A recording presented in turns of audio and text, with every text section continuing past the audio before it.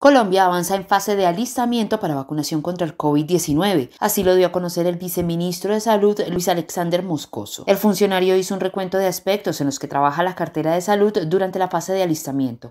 El país ya cuenta con seis ultracongeladores y la adquisición de 44 más para las vacunas y hay 2.975 puntos de vacunación en el territorio nacional. De igual manera, la formación que se le está dando al personal que estará de cara al proceso de vacunación. Estamos haciendo todas las adquisiciones logística y todos los elementos eh, para disponer de una vacunación segura y completa como hecho el país históricamente. Son alrededor de 72 mil personas que son capacitadas en biológicos, almacenamiento, aplicación, distribución, reacciones y demás condiciones propias, ya que es una vacuna nueva. Aseguró que hay suficientes vacunadores disponibles y con la formación se refuerza esa capacidad. Moscoso además dijo que también se está capacitando a las EPS e IPS para que el proceso sea logrado de manera exitosa. En cuanto al abastecimiento de insumos como jeringas, aseguró que se viene adelantando un proceso organizado, con tiempos establecidos para evitar riesgos de desabastecimiento. Actualmente Colombia cuenta con 2 millones de jeringas de reserva. En el país hay 2.975 puntos de vacunación. Actualmente el Ministerio revisa con las entidades territoriales la estrategia para cada punto en sus territorios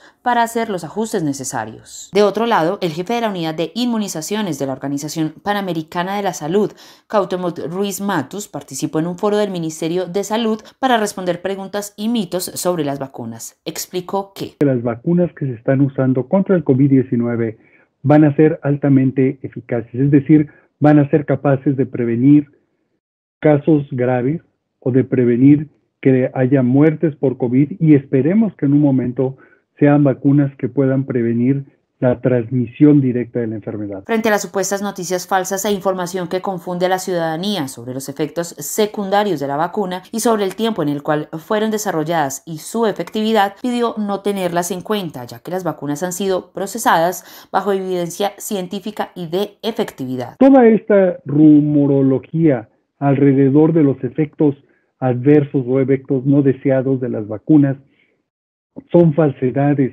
que generalmente los grupos antivacunas que se basan en, supuestos no científicos eh, introducen en la discusión de la población.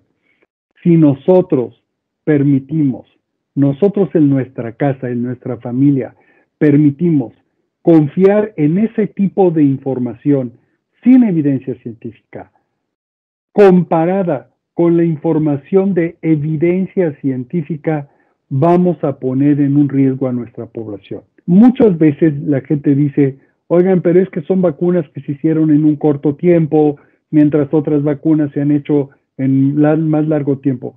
Lo que tenemos que decir es que el avance de la ciencia ha permitido hacer estos grandes logros. Finalmente, el Ministerio de Salud aseguró que los colombianos tienen la garantía de una vacuna segura y eficaz.